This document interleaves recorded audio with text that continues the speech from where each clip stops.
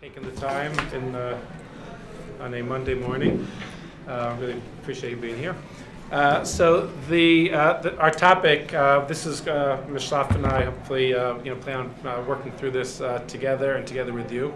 The goal here is for this to serve as kind of an exercise for us and a kind of collective exercise to take a look at sources uh, a little bit less than usual in a way in which we're just uh, kind of given a sheer a little bit more to be able to raise certain questions, open discussion, and try to kind of unpack how to think about this in a um, kind of a contemporary kind of way. The idea of sexuality um, is, uh, on the one hand, an enormous important topic in terms of engaging um, our students around this. I think that uh, our uh, uh, our uh, educate our own experience going to school. I'm not sure the degree that to which you know people here would nod was that it wasn't really a topic of conversation in our yeshiva environment, or in our homes, um, and there are lots of uh, halachic sources around it.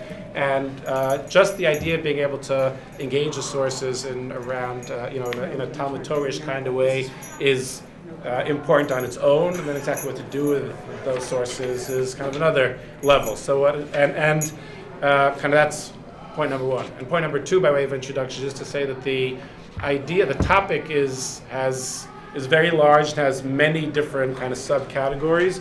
Our focus for our set of uh, sessions is going to be on um, what we're calling the internal, primarily the internal uh, uh, uh, set of rules, which have to do with how does a person manage um, and consider, and what is halacha driving at in terms of one's own internal mindset. We'll get a little bit more into distinguishing between the interpersonal and the internal um, as we go along through this first uh, first set. So what I'd like to do actually is to just start by reading through the first source on page one um, in order to um, really just to consider it, right? to read it and say what it says and to think about it a little bit.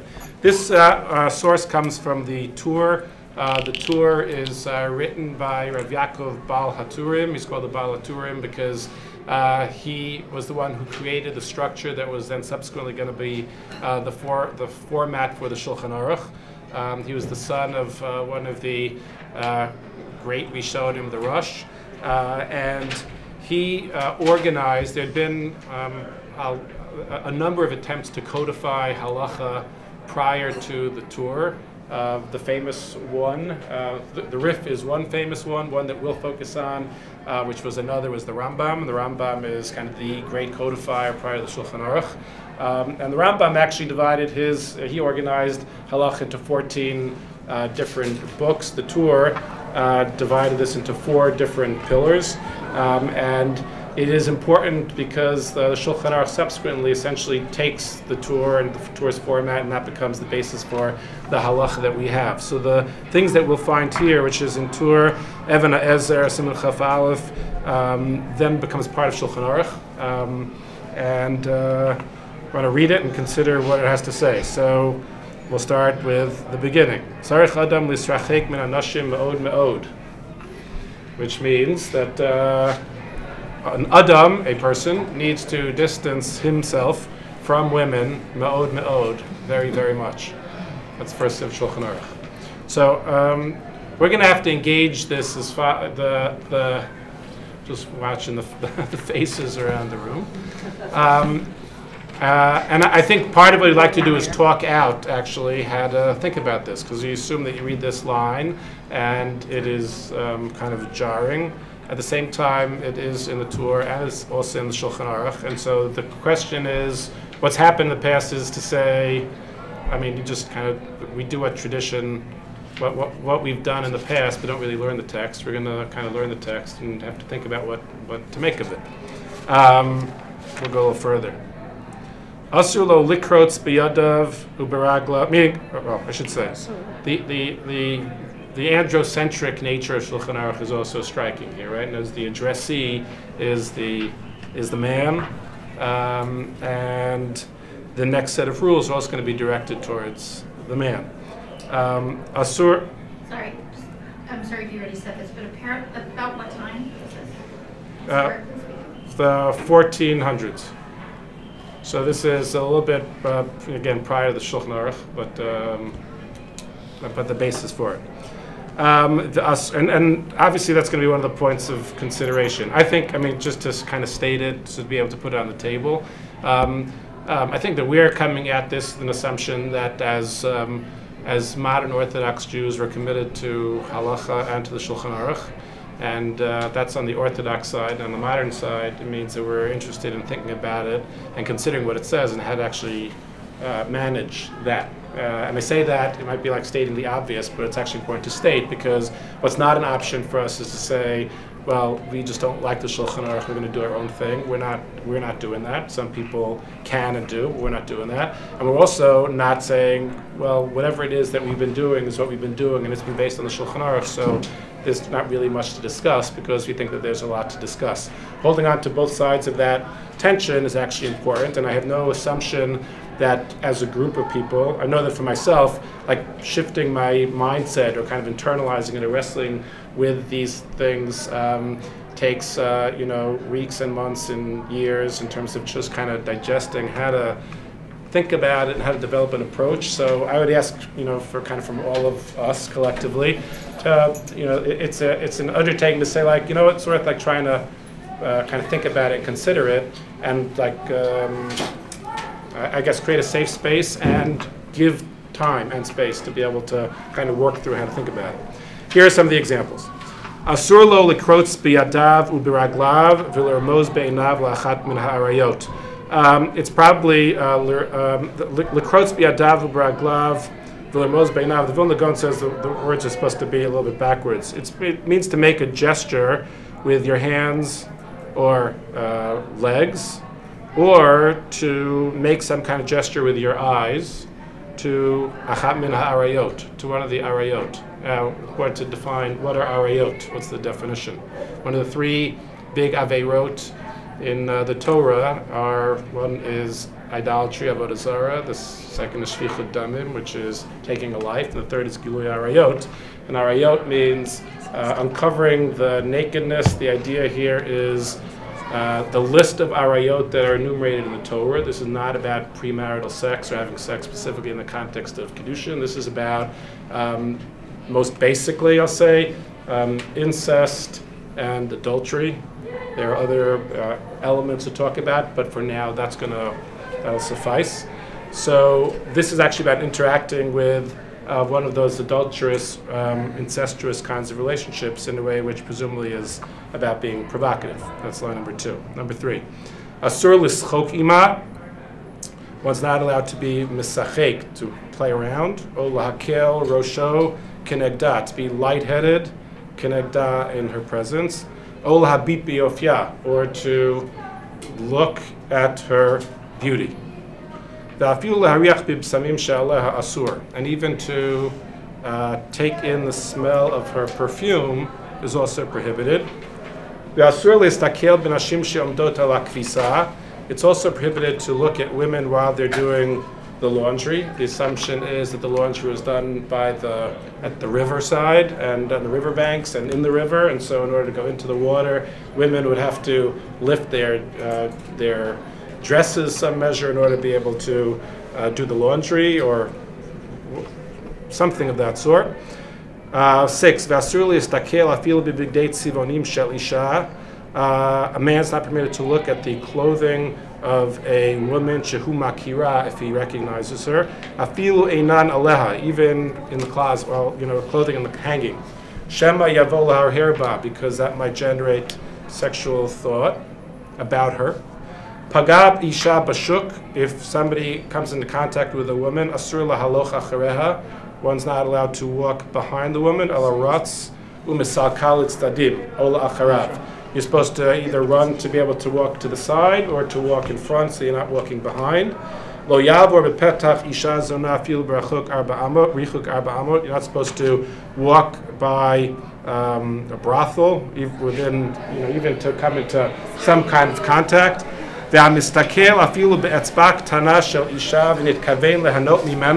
If someone looks even at the small finger of a woman with intent to derive pleasure,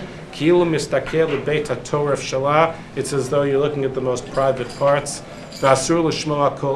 One's not allowed to listen to the voice of an erva or to see the erva's uh, hair. That is the list. So uh, we are going to come back. Uh, right now, the, the, this is just for kind of general reaction and, and thought or things you want to raise, not about kind of going through all the detail because we're going to have to kind of unpack it again. But um, I guess I'll stop here for a second. Thoughts? You know, what was interesting to me is in a lot of cultures, men always walk ahead of the women, and it's sort of seen as a disrespect to the woman that she has to walk behind. And here, this is saying you, the, the man cannot walk behind her, so it's sort of a, a flip on that. Mm-hmm. Or maybe that's right where something like that, part of where that comes from, even. But uh, yeah. Um, Just by virtue of the use of sort of pronouns and the various ways that women are referred to in this list, I just assumed RIO was referring to women in this particular context. Meaning in general? In women? general, just the woman is by nature of herself an RIO. So I. In this I- context, right? Like anything about her, her pinky, her clothing, So her, I, her this, her that, everything could engender some sort of impure reaction of the man. So it's interesting when you were explaining it in terms of an RAO being something outside of her, I just assumed it was just another pronoun for her. I, I think the point is very well taken because one of the things that we're going to see is that um, the, the all of these lines are taken from the Rambam, but they're reorganized, and the way in which they're reorganized give a certain kind of impression. And I think the impression that you assumed is exactly the impression that the Tur is interested in conveying, but different than I think what the Rambam actually conveys, which you're going to see in terms of how he sets it up. So I would say hold hold that point, and I think that that's going to come clear. But that's also interesting because the other thing I was thinking is that, and I'm curious to see how this lays out the Rambam, only because the Rambam is much more Muslim influenced, where all of this just sounds way Christian. This just so sounds so Europe, you know, Christian oriented, like the whole notion of sin and women and all of that just seems very Christian here. Okay, I understand what you I'm mean. Curious to see that. Yep. Yeah. Uh, any other just uh, reactions to, to, to this list of things? Yeah. Doesn't that speak very well for Jewish men? Uh, Doesn't speak very well for any man. Because you can't trust, because they, they we're so worried about their. look at the clothes in the closet because they can go astray and um, a little pinky and anything can just set them There off. isn't a sense of uh, being able to have self-control here. I think, Alice? Yeah, I think this is a room full of a lot of women, and I, I think that this is men thinking, and sometimes maybe it's useful. I mean, some of these ideas in a modern context seem offensive, or to the women hearing them, reading them, they seem offensive, and yet I'm wondering, and I can't say because I'm approaching this as a woman and approaching it in a more modern context, but I'm wondering if there is some hidden truth in here that if there were a man addressing this, or if this room were full of men, they might be saying, well, there's an element to this that you might not be able to understand, that there are truths in this that, though they may seem offensive, recognize the reality. I think that the point that you're raising is really important in terms of what I think the challenge is for us, which is to try to say, uh, how do you tease out, or can we separate or think about the parts of this that feel like they are coming from a context which are, which is harder to connect to and relate to, and what parts of this are actually addressing something that's really important for us to be able to think about and consider. And I think if I was going to kind of jump to the end, I would say that part of what uh, what's uh, feels interesting and important to us is that not to not do what the two natural options are, which are either one, I think, and this is I'm just saying it in the extreme, is to say, well, this is what it says, so this is what it's supposed to look like, or this really feels like it's the middle of the 15th century, so I'm actually not going to really think about this or engage it. And the position that we're going to take, which is a hard one to navigate, I think. It takes a little bit of kind of groupthink to kind of figure out how to go down that road, is to say, well, what is it addressing that is meaningful? What is it addressing that feels like you have to think about? And, and can we kind of come together in a path that says, oh, I understand what the Jewish, some of the uh, important elements that the Jewish sexual ethics actually trying to teach. I'm wondering if you have, we would put words to what you think might be true in this. Like what parts of uh, that do you think? Uh, I- Again, I, you know, I can only approach it from my own context. Um, That perhaps there are elements of um, suggestiveness that are not ever intended to be suggestive by one party, and yet the person who's viewing it may feel that it's suggestive. Uh, and I also, I just want to. Context, too? Sorry. I mean, it speaks to sociological context as well. If you are in a society where men and women are highly separated, and almost to extent that maybe by a modern sensibility would be considered unnatural, then yes, any form of interaction, and even a woman's pinky, then becomes an incredibly sexualized moment. I mean, think about, so I think that there's a sociological construct that can make many of these things true um, Um, in, in light of this. Yes, I think that's for sure true. I also would like, in, when we're talking about the focus on the, the man and what, what men look like uh, in this description, I think it's important at least to hold on to both sides of this thing because there's a part of me that says that with all the focus on what women should do to defend against ma- male this or that, which is very much the discourse in general today. I think it's important to note that the Shulchan Aruch actually doesn't say that. It's actually about what men are supposed to do. It doesn't say women should not go to the shuk, Right. right? Doesn't say right. Doesn't say women. Right. It's not. These are not a list of restrictions on women because of men. It's a list of restrictions on men in order to be able to make sure that they are thinking carefully about the ways in which they interact. And I think that's so. Both sides can be taken, you know, poorly, or can be interpreted in a way in which, oh, I understand actually what it's trying to say. It's important to. You know, while I acknowledge the sociological, I think you also have to acknowledge the physiological. That some of these, uh, experiencing the world through senses is very real. So that it, I don't think you necessarily have to be isolated to be, if aroused is the right word, by a, a, a bouquet, a, an odor, a smell. Yeah, which which I, I, I want to echo that in in in uh, let's say talking about the, the you know the the line number ten talks about asur lishmoa kol erva. So when we talk about kol isha, the particular manifestation of kol isha today, which is women singing, it's easier to kind of generate this kind this way of thinking about it. That's okay.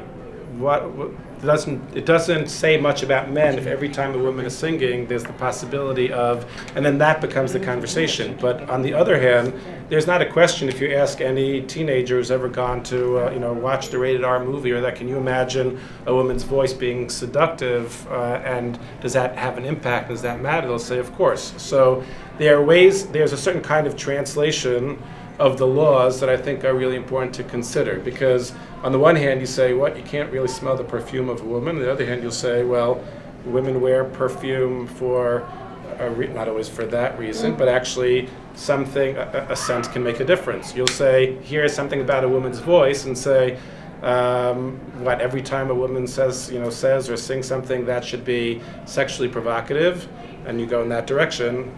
And sometimes when we do that, we lose the awareness of the fact that our kids, and I'm going to speak, a lot of this is about talking about how to talk to our kids. Our kids are exposed in a to ridiculous degree to sexually charged voices, I'll say of the opposite sex. So do I think line number 10, for example, is an important one for us to consider in terms of what a Jewish sexual ethic should be? I would say 100%. I think that it should be a really important line to consider. And Our kids will also say it in the other direction too. And it goes men's voices. And when I talk, when we talk to kids about it, we say it should operate. But that's if you just take that as an example, that's a tr- that's a very significant move. That's like a kind of a translation of a whole of those four words into something that's very different, which is. Uh, you're not allowed to hear one, one version. You're not allowed to hear a, a man is not allowed to hear a woman sing or maybe even speak. Two, voices can be sexually provocative, the rule is here saying that you got to be reflective about the ways in which you engage with sexually provocative voices, which perhaps in Shulchan Aruch is androcentric regarding the woman, but maybe what it should be saying in an environment which is much more um, interested in mutuality and equality, it should be something which is to be considered by girls regarding boys and by boys regarding girls. We are very far right now from being able to articulate a halachically oriented value of kol isha, which is, I think, really direly needed for our kids, maybe for our adults too, but I'll say certainly for our community of kids. And I think that the reason, one of the reasons which, which makes it difficult to do that is because we are stuck in a different kind of conversation, which is, are we dealing with an old, with a halacha that doesn't resonate and trying to create this kind of world again because that's what it said? Or we're saying that's antiquated and so this rule doesn't really apply anymore. And I just want to check whether it's clear the ways in which, just using that one line, number 10, that you can take that and say, with consideration, actually sitting and deliberating around this idea, you can say, oh, I, get, I actually get what it's trying to say. And it can actually be saying something that is really important and meaningful and powerful for this group, this community of people, especially, and it's through its media exposure and all of that. But it, it's not where that, that needs like some kind of movement to be able to arrive at an understanding of that. Does that, is that, I mean, that's important. I just want to stop for clarifying. Like, does, does that make sense? Okay. Then the question becomes, well, how much of this can you do that for? Or does that really work? Well, first I would just ask, how much of this, we always assume that the, the, the how, do you think we keep these halachas? This list of, this list here. I'm actually just Who's asking we? you to look. Um, uh, Who's uh, we? Who's we is a good question. That's part of the question. what I was going to say is who's we, but I'm actually asking you for all of these we's, and I'm ask, and I also would ask you to zero in on them specifically. Meaning, what we tend to do is say, do we keep these halachos? And we say like some we's do and some we's don't. But I'm actually not asking. I'm asking like the reason why this is, you know, what we want to put this here with numbers on it is to look at each of them separately. Say, even the even I don't know the right wing community, the modern Orthodox community, the more liberal community. Do which of these do we keep, or not?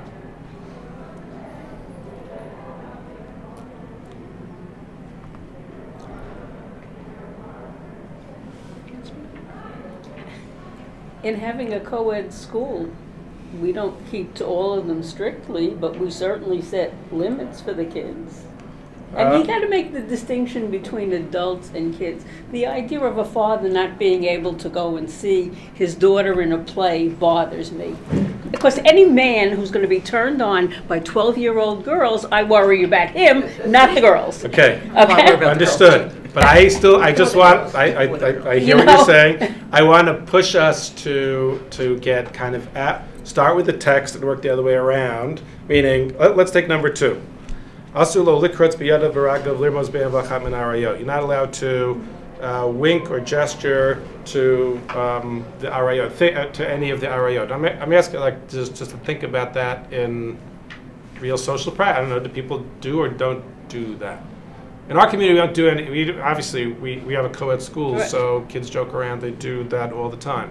Well, not only that, even if you're gonna, if you're gonna say that we're in, in, in communities that limit physical interaction between the kids, I think a lot of their interaction falls into this category. And you can even call flirting Mhm. in this category.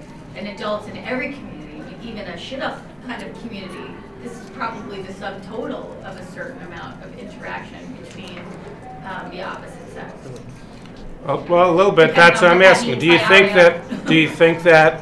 I- I- Ultimately, the, the question here kind of is: Do right? Do you think that the, those who we think keep all the halachas, do they keep all of these halachas, or do you think you can socially? Is it is it kind of socially possible in the world that we live to actually keep all these halachas the way that they're described? The reason why that's important is because if everybody is, if I, I'm working, I think that we're both working on the assumption here that even right, even right-leaning communities, there are there might be separate seating at weddings, but they certainly socialize with each other.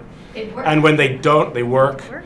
If they don't socialize with each other, then that seems, you know, the idea of separate lines in supermarket, you know, there's a certain point where if you actually try to implement these things, it really, it's not even within the categories of the, what we're comfortable with, but it becomes like really um, extreme. And the reason why it feels to me important to do that is because it's, I think that it's fair to say that all communities are actually struggling with, it's not as though there's the clear abiding community and the, you know, the, this kind of modern community. It's like everybody, these are rules that, um, l'schoki ma lo kel rosha la- you know, Habib be- Yof, be- yeah, like that end of number three there. Like you're not allowed to look or gaze intentionally at a beautiful woman. Like it, that's you know. Um, If you think I don't about know that about playing you, but out. I've Mhm. met people, know people that I grew up with, and they reached a certain age, and I'd walk into their house, and they were down covering their eyes. They would not look up. The only person they looked at, and even that time I questioned if it happened, was their mother. Mm-hmm. No other woman, it- and they would cross the street, anything, so they would not have to look at the person. So the Yeah, ince- This Shabbat, two men who looked pretty identically right, right of the fence, walked by me, and one nodded and said good Shabbos, and the other one crossed the street. Right. Yeah. They looked like they were from the same community. Right. So I mean, to, and to be clear, what we are not, what this isn't going to be, right, is to explain is to explain why it is that it's good that we are more modern, integrated, and co-ed than that. No, com- I'm just saying it. I, I, yeah, I no, I'm not. Those that are right, and I, I mean, I've been to weddings and I have cousins who are right of right. And the only people they will speak to are their siblings, their sisters, their wives, their mother. Mhm. They have, and their grandmother. They have aunts, they have cousins, they're women at a certain age. Until the parents say, you have to be polite. And I, I think it would be for us to have a certain sense of integrity engaged in the conversation. I think it's important for us to say, and where does that come from? And the answer is it comes from the Torah and the Shulchan Aruch, and in trying to keep to that as much as possible, which I think puts a question on us, which I think we should be comfortable trying to engage and think about rather than just dismiss. I think that's part of what we are trying to do. To think about, okay, what does that mean? Are we just saying, or are we saying something more than that? And I think the examples from like Coalition and stuff and, and, and things like that suggest that there would be something beneficial, purposeful for us as a community actually thinking about, uh, like what Al said, what are the positive values, what are the real values that are trying to be communicated here? What might that look like for us? Because, and this you can take, I mean, we would both say spending our lives with high school kids exposed to the media, it's necessary. It's, we, we need to do something like that. We need to actually think about that and develop a communal kind of energy around teaching towards these things in a way that is much more directed than it is now, because I think it's a real problem, actually. Yes? Rachel. In the text and also, and also in life, saying here that like you can't look at someone or that the, this, you, we have social exchanges all the time and, you know, your eyes meet someone and that means something. Mhm. It doesn't necessarily mean a sexual thing, like the, like a hint of one of the RIO Yeah. Like, uh, is the, you know, I think that there's a distinction here, and I think also, as we, you know, take it out more broadly, that there's a distinction between giving some, you know, looking at someone and giving someone a look. Yes. Yeah. So where we would like to go, and that'll probably be next week, is to start trying to make some of those distinctions and to see whether there's a real halachic argument to be made between those kinds of interactions, you know, those two different kinds of interactions. Um, but we're going to do a little preparatory work first. So yes. Uh, what I'd like to do in the next two sources is to try to um, give a little bit on the assumption that there is a there is a uh, backdrop here. Uh, what, what's going on? How do the people, how do the Tur and the Rambam actually think about their social worlds? So I'm going to try to read these through and do that a little bit more quickly. Um, here's the introduction of the Tur to Even Ezer. So this is his own introduction to um, this particular Chelik and Shulchan Aruch.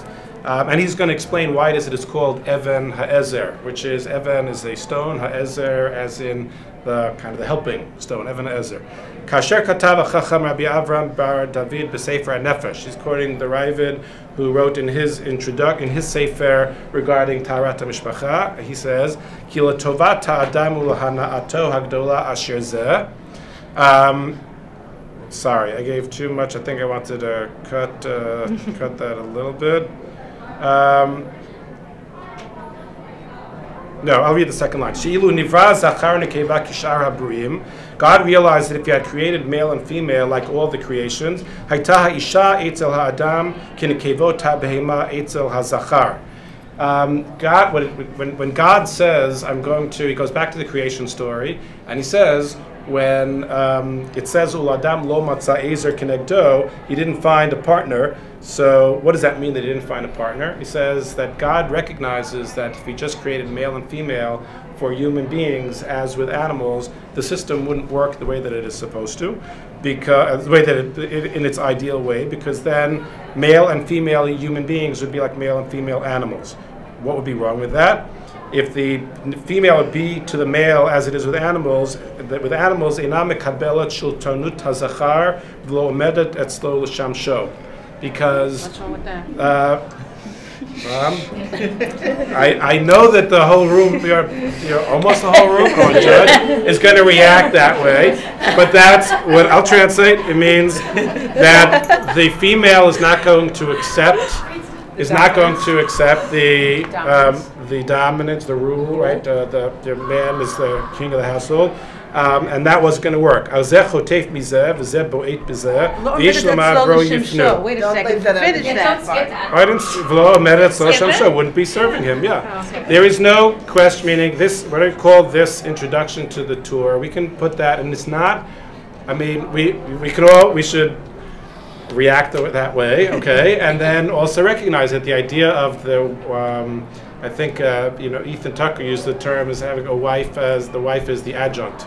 Meaning that all households need an, need an adjunct, somebody who's going to make sure that everything's running so that the person can do whatever the person, you know, can do, which in, uh, in the household would be, so the man can do the man could do, is supposed to do in the world, the female is going to serve as the adjunct. This is a clear kind of adjunct setup. All this does is, and the way that I think that we should, the, uh, just, I, I'm sorry if I'm going to keep on saying this out loud, I'm just going to keep on saying it out loud. I, we understand that this is like a jarring kind of text, but rather than not pay attention to it, feel like it's important to read it, take it in for what it is, understand how it is that it makes certain sense, and then understand, okay, try to figure out, okay, well, what, what parts of that are different now, and then how does that impact on the rules that we're taking? I'll say again out loud, that can be, okay, how can I accept the Shulchan Aruch if it's rooted in this kind of practice? And I would say, I understand that somebody might, I don't want anybody to say that. I don't think that we should say that. I don't think we need to say that. I think that what we need to do is to consider the rules and figure out what is the sexual ethic and then kind of translate that in a way that actually works and makes sense, which I think is actually possible. But I think that part of what happens with not reading these things and considering it is that we just don't tackle it at all, and we don't tackle it at all. We don't, and we are lacking, I think, in an approach to managing these things for ourselves and for our kids. So yes, the Tur is rooted, and that's the point. The point is to say, where's the Tur coming from? Clearly, the Tur is coming from a, set, a setting where the female is an adjunct. Let's go on. Mm, Too late. Um, וגם אין מיוחדים זה לזה. He's concerned about a lot of swapping going on because if the woman is not committed to the man, if there is this, isn't this kind of subservience, then how's how is everything gonna how is there going to be stability in the family structure and societal structure? לפי שבתחילה נבראו זה בפני עצמו וזה בפני עצמו, אוקיי? ולכן ראה בורית ברק צורך האדם והנאותיו וברא אותם יכ- אותו יחידי. That's the reason, this is interpretation of the creation story which is not a bad interpretation. If you think about it, why was human beings created? Why was man created as man, and then female taken from the side of the man? Bara oto created the man single alone. Mimena and built the woman, created the woman from the part of the man. El hadam lo lo ul misad so that she would be a part of him and subservient to him in the way that, or serve him, I actually think is better. I think that's what it means. That in order, in the same way that the limbs of a person serve the person, the wife of the person, of the man, should serve the man. It's exactly like a limb of the person. And so that you should have that, the man, under his control in the same way that the, that uh, one of his limbs, etc. Um, I will just say, therefore, he explains, I'm going to stop reading the text. You can uh, leave that to you if you want to read more. But he says, that's why this book is called Even Ha'ezer. Why is the book that talks about marriage and uh, divorce and puravu and all that called Even Ha'ezer? Because actually that's what it's about. It's about the rock who is the helpmate of the man. That's what Even Ha'ezer actually is, was, that's what was meant by Even Ha'ezer by the Tur who generated that term. What's our purpose in introducing this? Just to say, we feel obligated to halacha, which we should be, but we also should recognize the context within which this halacha is being written, and then we have to consider, well, what are we going to do about that? How do we manage that? Because to us, it's not acceptable to say, therefore, it just doesn't apply. Uh, it's not acceptable to not acknowledge it. So you got to figure something else out. On page number two, I bring a Rambam, which is a different example of what it means to be living in a different kind of context. The Rambam says, and this is an example of the Islamic um, world. Um, ironically, while, Christian, while the Christian world had a certain view on sex, the Islamic world had a much more restrictive view on the interaction between the sexes. It could be that those two things are related. You can be worry less when you're restricted in other ways. You got to worry more when you're not so restricted. So um, in Christian Europe, uh, the side of Europe was much more, it was relatively more open. The Rambam writes as follows: Because every every woman needs to go visit her father. You have to go. You know, people have to go to uh, weddings and shiva visits. Um, to uh, do chesed, see your friends, for your for your close those close to you. Um, uh, it's impossible for a woman to be treated as though she's in prison and can't come and go. That would be terrible. There are things that she has to do.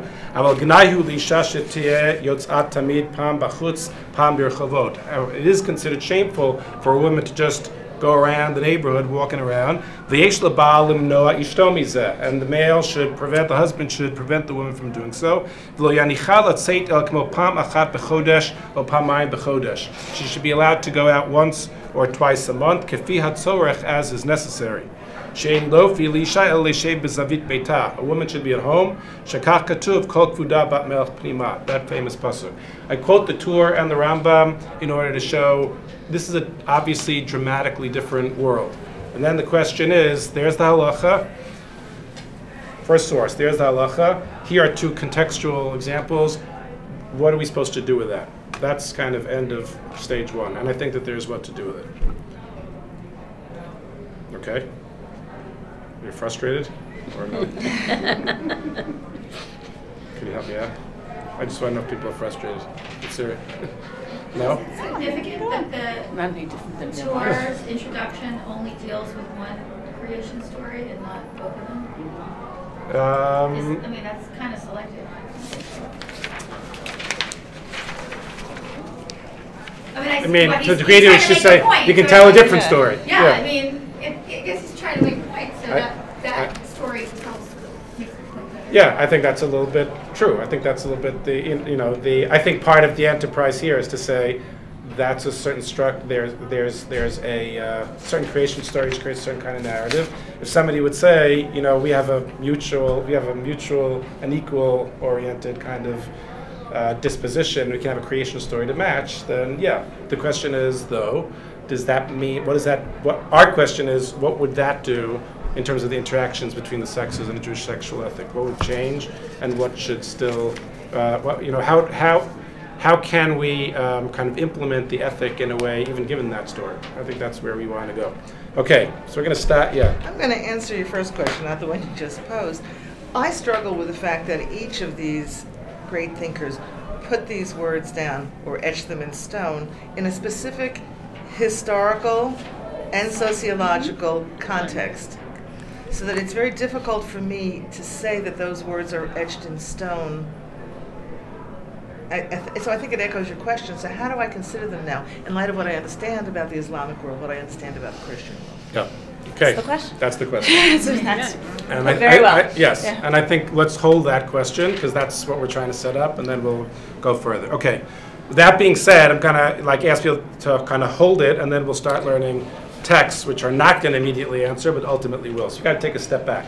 So what does Torah actually have to say regarding these kinds of prohibitions? And I want to uh, present two sets of psukim, which basically point to two different kinds of issues. The first is the story is the issue, the set of arayot, which are written twice, eh, once in Parshat Acharei Mot and once in Parshat Kedoshim, and enumerate a little bit in Varim as well. Um, I'm going to just read through the psukim to get a little bit of a vibe. And these are, again, the rules, that, the, the prohibitions that are focused on, there's not about sex in general, although we tend to think about it that way. This is actually about incest and adultery. Uh, the pasuk about um, homosexual sex is in here too, and bestiality is in here too, and and it's important kind of to get the vibe. This is not. Uh, this is again specifically focused on what we'll call isurei bia, these kinds of prohibited interactions.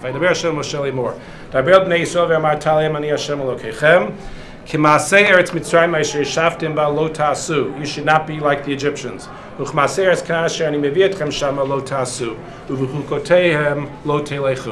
Um, I would just say that the point of this pasuk is really saying you're coming from Egypt, you're going to Canaan. You need to be countercultural when it comes to these matters. You can't do what the Egyptians do, and you can't do what the Canaanites do. What you're going to see them doing. I think that there's something very shot, a peep shot, very powerful in terms of what this whole thing is driving at, which is you have to have a countercultural sexual ethics. At mishpatai tasu Elokechem. You should do what I tell you to do. Ha'adam. If you follow these rules, which in Chumash often means not that you, and here I think means not that you should live, although there's a drash that means live as opposed to die. As the Rambam writes, the word chai is an equivocal term. It can mean live as opposed to die. It can also mean thrive. It means like live. You should follow the rules, these rules, so you'll, you'll thrive. Um, I quote two examples and then skip to Pasuk Yotet. Ish isha kol she'er lo legalot erva ani Hashem. It, relatives are off limits. For example, ervat avicha ervat imcha lo tikale, imcha hi lo tikale ervata. Parents are uh, considered off limits, and that's considered um, incest, and that's capital crime. And then it's lo tikruvu legalot erva. And um, which is, um, Like yes, I was going to do that for even you, close to Ted. it. Yes, Okay. which is going to right. Vel- At Veli Shabbat, dat tumata lo tikrav legalot ervata. So that's actually going to be. Uh, we're going to highlight the difference in those terms in a second. I want to kind of contrast that with a pasuk with psukim in Parak Kav Gimel, which is actually talking about the camp when the camp uh, the encampment went out to wage war, and the war this the encampment was considered to be a sanctified place, had to be pure, um, because the mission was a sanctified mission. So the Torah describes kiteitzei machaneh loivecha. Um, I'm reading these psukim by really way of contrast. When you go against your enemy, when you go out to war, nishmarta mikol davar, you should be careful. Um, you should protect against any uh, evil things happening. If a person, if a man will become tameh mikrei laila, which means that he had a nocturnal emission, so he becomes tameh. Um, sex, by definition, creates tuma, even in a uh, even in a, a marital, legal relationship, because of that loss of potential life, since there might be the conception of one child, there's loss of lots of sperm that generates tuma. Um, if it's mikra laila, and the basic juxtaposition here we're trying to set up is that as opposed to the arayot, which is interpersonal, this is personal. This is a person on his own. There's no no one there. There's a, sem, uh, an act, a seminal hamachaneh. That person has to leave the encampment. At the end of the day, then the person can become tahor and return to the encampment. So the bath, and then next psukim, which I'm not going to read, say the bathrooms also have to be outside of the camp, which means there is a sanctified camp. What does it mean for the camp to be sanctified? So clearly the bathrooms are outside. You get that. Also, any sexual, a, a nocturnal emission, seminal emission creates tuma. That has to be outside of the camp. Can I just say something here? Like, it's just fascinating. The way that this is in the context of war is so fascinating because it's all about like the, the degree of sanctity. Like, you're fighting, right? What are you going to do in war? You're going to end up killing people, right? And what do we say? Like, at the same moment that we're going out to war and saying that you're going to end up killing people, we are saying that you have to have the, the degree of sanctity of life within the camp is really highlighted. So there's a. There's And that, Uh, and we and wh- what Chazal did was to take that idea and that intensity and then expand that idea of nishmartim kol davara. If that's the definition of sanctity in its most sacred spaces, then that's the definition of sanctity in day-to-day life. What we're trying to set up here is two different categories that we're going to see that the Gemara and then subsequently the Ramban actually, uh, the Rambam, sorry, takes very seriously. One being an interpersonal set of expectations, and one being an intrapersonal set of expectations. What does purity mean in terms of interaction between the sexes? What does purity mean um, on one's own? Because that also generates impurity when not managed properly. But So sex, is that sex is okay in this context, just not. Well, there are only men in the camp, so there's no sex. Yeah, sex would not be okay. And that's not because, to be clear about that, defilement, you know, there's a little bit of a jump that's made because defilement has nothing to do with bad. Defilement, in general, tahara has to do with life, tumah has to do with death. Tumah and death are always uh, associated, which is why dead body is the highest level of tumah. Um, and down to what is Which is why men- menstruating women who are menstruating women is, generates tumah not because there's something bad about that, but because there's a loss of potential life, which is why the wasting of sperm is also also generates tumah because that's the loss of uh, potential life. So there is this kind of life affirmation that is manifest by generating tumah whenever that is that possibility of life is lost, which means tumah is not bad. Tumah is part of a general kind of statement, which can poke a hole in the argument of Chazal ultimately, but they do it anyway, which is to say, the fact that there's tuma generated there means that there's some kind of expectation that people need to have of themselves, even on their own, in terms of managing their sexual uh, lives. And so those two things are distinct. Setting that up, I'm going to turn, uh, I can't turn, I got to do the source at the bottom first. Um, one more thing in order to be able to go to how the Rambam structures all of these things, which is the Avot Rabbi Nassan, uh, next to last source on the page. Um, um, as Schlaff pointed out, when it comes to ar- um, arayot, the Torah continuously say, says, Ervat so and so lo tigale, lo tigale, lo tigale. You can't uncover the nakedness of whoever the party is in the pasuk. Twice there's a different phrase, which is lo tikrevu legalot erva. So Chazal, who doing close readings of the pasuk, I find this to be a great read of the pasuk. Of I mean, I, I get like a hana'a out of just the kind of the care, the care with which they read the psukim. Um, there is a prohibition against uncovering nakedness, which means a sexual act. But then it also says lo tikrevu legalot erva, which means you're not allowed to bring close the uncovering of the nakedness. So the rabbi said, What's the difference between uncovering the nakedness and the bringing close of the uncovering of the nakedness? Well, adultery is a capital crime. Um, but before you get to the capital crime, and according to the Rambam, this is an Isur Doraisa, they said there's actually an, a, a prohibition against bringing close that possibility. Says the Avos Rabbi Nassan, Ezu siag shasta Torah lidvareha. A siag is like a gate or a fence, a preventative measure. What's an example of uh, the Torah itself? We know that the rabbis like to create preventative measures against the violation of the Torah. Every now and then, you see the Torah itself establishing a gatekeeper to prevent you from get, go, getting to the greater violation. What is an example of that? Harayu Omer, Elisha b'nidat tumata lo. The term that says lo tikrav legalot ervata is to say that prior to the sexual act itself, which is the capital crime, there is a prohibition in the Torah doing something that can lead to the capital crime. Uh, what are the examples? I mean, so I actually, when we do this source with kids, it's always interesting to me to like, What, what would you say if you had to make up the rule? What would you say is an issue, uh, a violation of lo tikravu, because it could lead to the that to you know to that.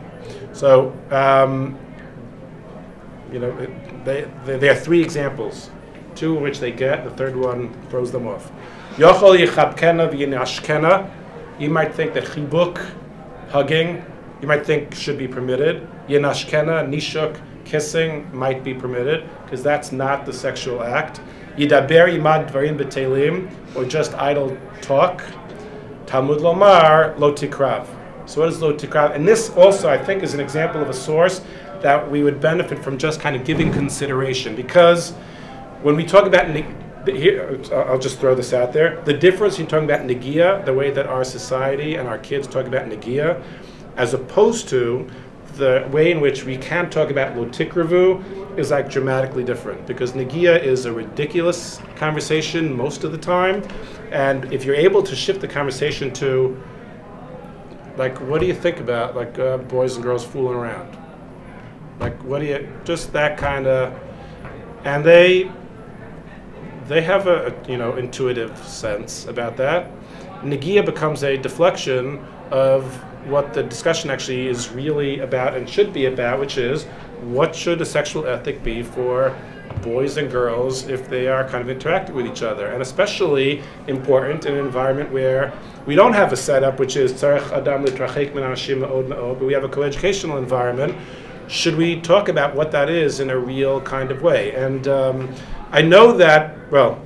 Uh, I, I'm, I want to sidetrack myself. Okay, I actually will only add. I used to I used to leave out. I used to not focus on the last example, the last line here, until I uh, learned from um our kids that this is totally a thing. Now. You might think that you can sleep in the same bed, clothed. Talmud Lomar Lo Tikrav.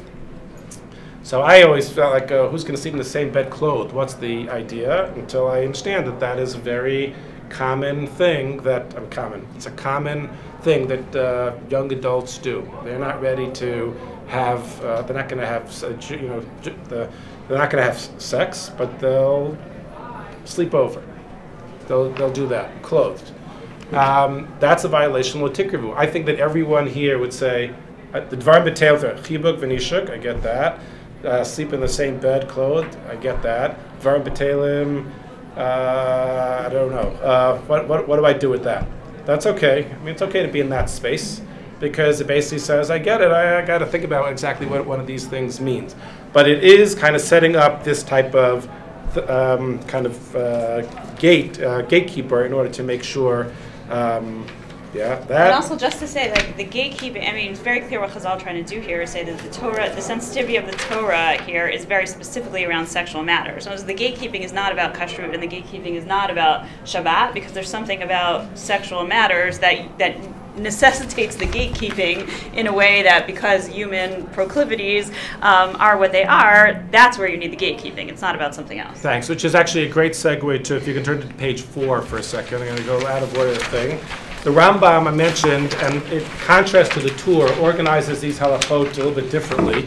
And the first thing I want to note is the two lines in the middle, where the Rambam counts the minyan mitzvot. The Rambam divided his sefer into 14 uh, books, and uh, and the organization actually ends up mattering uh, a lot in terms of how this is considered. So, for example, there is one of the 14 Sfarim, just to give you a flavor of how the Rambam works. Sefer Zmanim is one of the one of the 14 Sfarim, and Zmanim talks about times, which basically includes Hilchot Shabbos, the laws of Pesach, the laws of all the Chagim, etc. That's Zmanim. Nashim includes the rules of Hilchot Ishut, which has to do with marriage, and Hilchot Gerushin, the laws of divorce, and a couple of other categories that we uh, which would need explanation. So I'm going to just kind of leave them aside. These rules are not there. These rules are not in the rules of marriage and divorce. They're actually in a different sefer, and that is the sefer of kedusha. The sefer of kedusha. What are the what are the uh, rules? What are the subcategories that are if Shabbos and Pesach and Sukkot and Rosh Hashanah are in Zmanim? What's in kedusha? So you have three things that are in kedusha. One is the rules of Ma'achalot Asurot, the things you're not allowed to eat. One is, second is the rules of Shechita, and the third is Isurei Bia, the prohibited sexual interactions. And that's where all of this boy girl interaction and adultery and incest and uh, kind of managing your sexuality is placed. What do you make of that? The Rambam was super deliberate. What? Physical. It's phys- very physical. Yes. Why is it called Kedusha? So the Rambam writes, Sefer Chamishi, the fifth book, Echlol bo mitzvot shel biot asurot, umitzvot shel machalot asurot. I basically going to deal with sex and kasher, sex and food. Actually, when you say it in English, it becomes almost clearer. what is it about sex and food? Sex and food define cultures. It's about appetites, and how you manage that is really important. What? Physicality. That's the animal fi- These are most instincts. animal And we're back to physiological. We should be very Yeah. proud. What the Rambam is basically saying is, we know that there are lots of rules around food.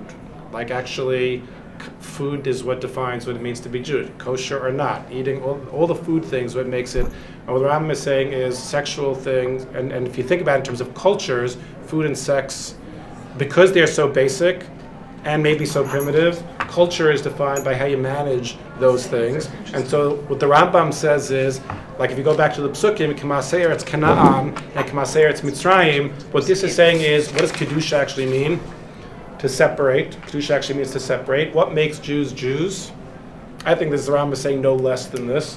What makes Jews Jews? What makes us separate from everyone else? How you deal with food and sex.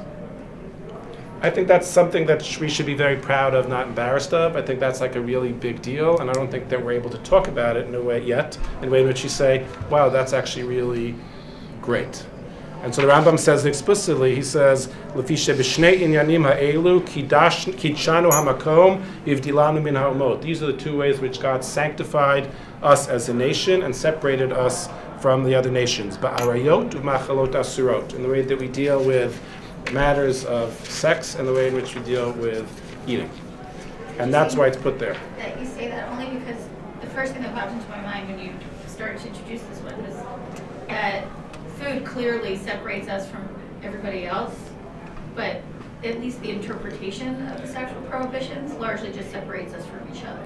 Okay, so that's fair. Well, in, in, in, yeah. in like in practical So I, yes, so I think, I, I, I feel like when I read this Rambam after kind of considering it for a while, I get to the kind of a, get to a point where I feel like there's an aspiration here that I think would be very noble. And, and the challenge, if I put all the pieces that we're doing so far, is how do you create a co-ed world which actually takes the ideas of kedusha seriously and manifests it in this kind of environment. And what kind, and that's like a, a, large task, but I think is a, is a is a wonderful task. And I think that halacha has a lot to say about that. I'm going to try to do one more thing in the last three minutes. I'm going to do it a little bit too quickly, but I think we can make the point. Just go back to page three. Um, the Rambam um, is in Hilchot Isurei Bia Perkaf Aleph. Halach, this, so this is, all these rules we've been talking about is at the very end of Isurei Bia. Um, and the Rambam says as follows. Um, You'll, we'll note that the Rambam comes before the Tur, and all the lines in the Tur exist in the Rambam, but the order is different. Rambam says as follows: Kol al erva min ha'arayot derech evarim If somebody has um, is, is has a, um, a uh, commits a sexual act, but not intercourse. Derech evarim means a sexual act that is not intercourse. Um, which which can be oral sex or something of that, nature, oshe chibek or hugs and kisses derech ta'ava, with uh, passion, basar, and derives benefit from that. Hareza lokim Torah. That is a violation of that you get malchus for. Shenemar levilti asot mechukot toivot, v'neemar lo tikru legalot erva. What does lo tikru legalot erva mean? Klomar, lo tikrevu lidvarim hamaviim lidei gilui erva. You should not bring close those things that can ultimately result in gilui arayot. So the Ram actually starts with a discussion of the Isur Doraita of what might lead to something greater. Here the Rambam says, and I just will, will note the context of halacha bet, and we're going to go back to your point very beginning in terms of how the Torah structured it. Michukot elu. If you do any of these wrongdoings, are you chashid al arayos? We suspect that you might be um, in a bad way in terms of ma- in terms of arayot in general, because you're not managing sexual drive. ואסור לאדם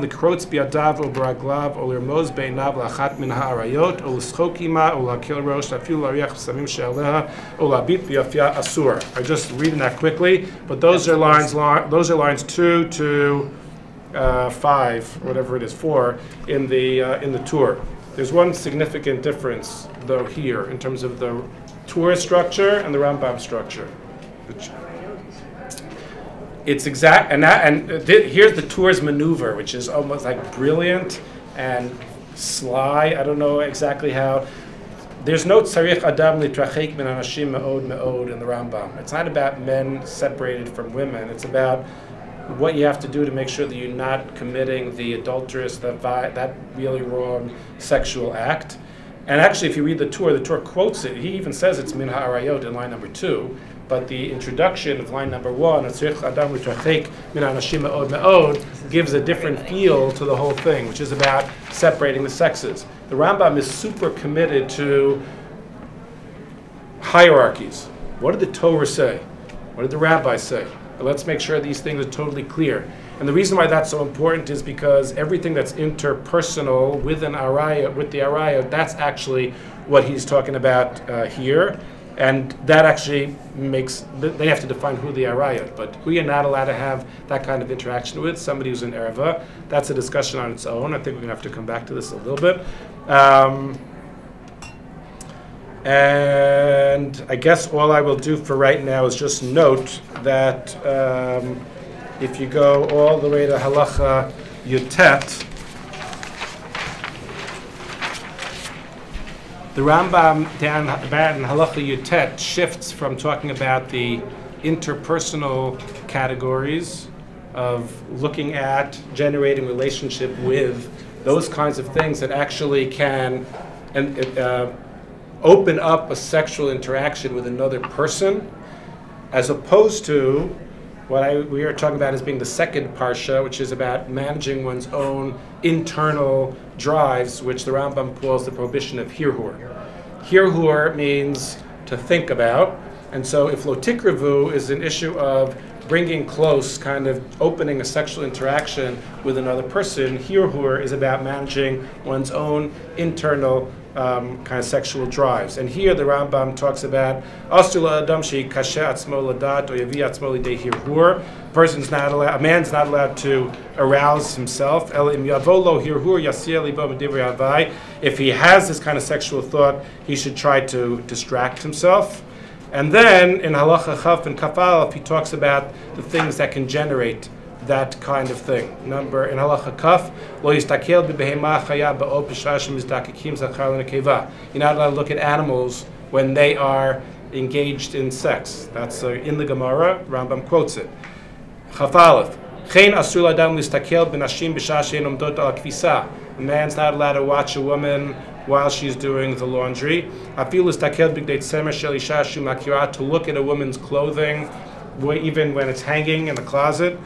Kav bet, Misha Baga Isha Bashuk Asur Lo Lahalecha. You're not allowed to walk behind a woman. So all I want to, and with this I want to end, is to distinguish that where the Tur actually mixed all these halachot together as part of a spirit of uh, Tzarich Adam Litrachek Min Anashim Me'od Me'od, which we get a vibe of basically saying you should create a world in which the men and women are totally separate, and the men don't have any access not only to interactions with other women, but also seeing anything that's happening with other women in order to make sure that that's true, that, that people kind of don't do the wrong thing. The Rambam follows the structure of that he gets from the Torah in a much more kind of clearly hierarchical way. First, there's adultery.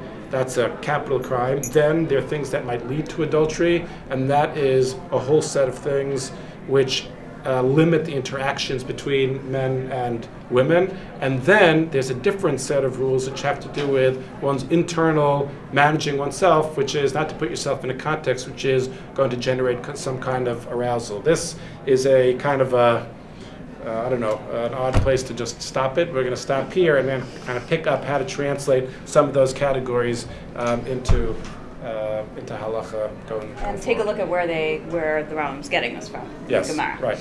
So um, I think next time we'll probably just round off and pick up and then move to the the sugya.